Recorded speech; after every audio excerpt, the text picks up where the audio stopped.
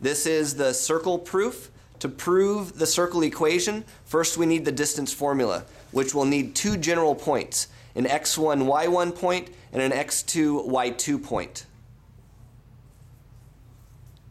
Here's our first point, x1, y1. Here's our second point, x2, y2. To do the distance formula, we'll need to draw a right triangle between these two points. Each side is each leg is going to be an A and a B, and then the hypotenuse will be a C. Now we need to find out what the leg A is. Leg A can be represented by a one-dimensional distance on the x-axis. x1 is that point, and x2 is the other point. Let's go ahead and do the y2 and y1s also. For the one-dimensional distance to find the leg of B. One-dimensional distance is the absolute value, subtracting the two. So let's go ahead and do the absolute value of the x1, x2 point. That's its one-dimensional distance. And we'll do the one-dimensional distance for the y, or the b leg.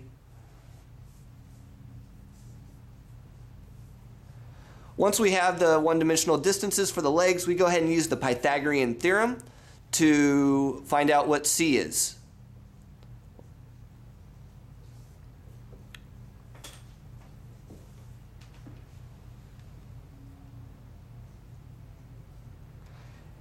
a squared plus b squared equals c squared is the Pythagorean theorem. A is the absolute values of the one-dimensional distance. B is the absolute values of the y's. Let's not forget our squareds also. We're letting C equal the distance between the first and the second points. since we have absolute value, we no longer need the absolute values since they're squared.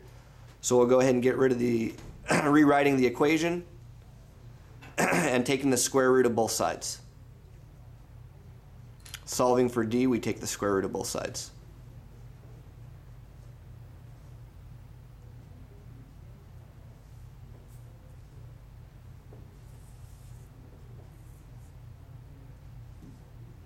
And there is our distance formula proof. From there, we'll go ahead and do a general form of a circle. The general center of a circle is usually denoted as HK. H representing the x1 value, K representing the y1 value.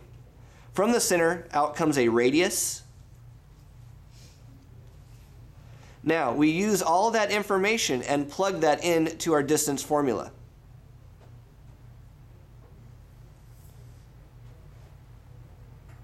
The distance formula is going to be rewritten. Square root of x2 minus x1, quantity squared, plus y2 minus y1, quantity squared, equals d. And then we're going to replace all the values that we have from our circle.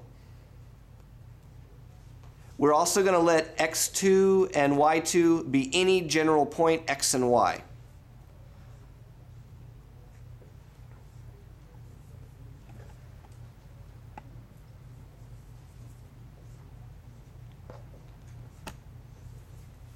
At this step, that is the circle formula. And this is our proof.